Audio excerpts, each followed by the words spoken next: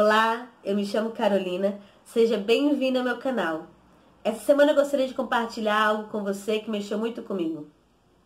Aqui no Brasil, nós temos liberdade de expressão, liberdade religiosa, e é muito difícil para nós tentarmos entender como é viver sem essa liberdade.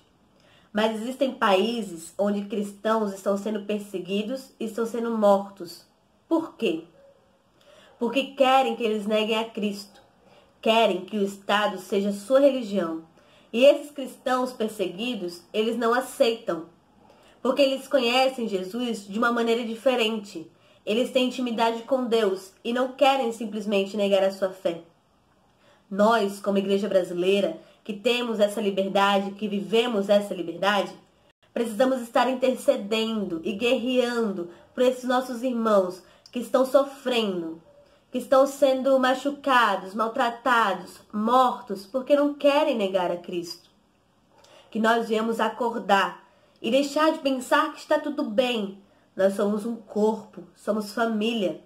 Se um membro do nosso corpo sofre, todos nós sofremos que isso venha nos indignar a tal ponto e que venhamos deixar esse comodismo e nos posicionar, mostrar a nossa cara, mostrar quem nós somos, em quem cremos e no que cremos.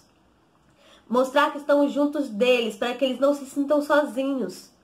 E convocar sim nossos líderes religiosos no Congresso, nossos líderes religiosos que nós elegemos para que eles não vejam somente o Brasil nesse momento, mas para que eles lutem também por esses outros países, para que o Evangelho seja livre, venha ser pregado com liberdade, para que cada um tenha o seu direito de escolher a sua religião, o seu Deus, e que nós possamos defender a nossa crença. Isso vai muito além de religião. Eu estou falando de credo, estou falando de crença. E que nós venhamos nos colocar à disposição para defender aqueles que são iguais a nós.